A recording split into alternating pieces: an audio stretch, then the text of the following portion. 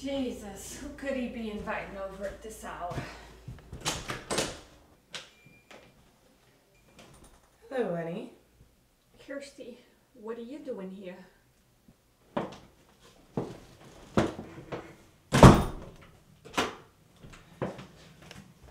It has come to my attention that you haven't delivered us a body for quite some time.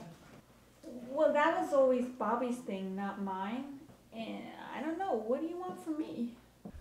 Well, a woman has her auxiliary duties. His debt is your debt.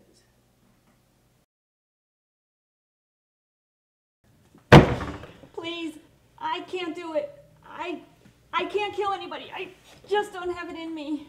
I know you don't, but you will.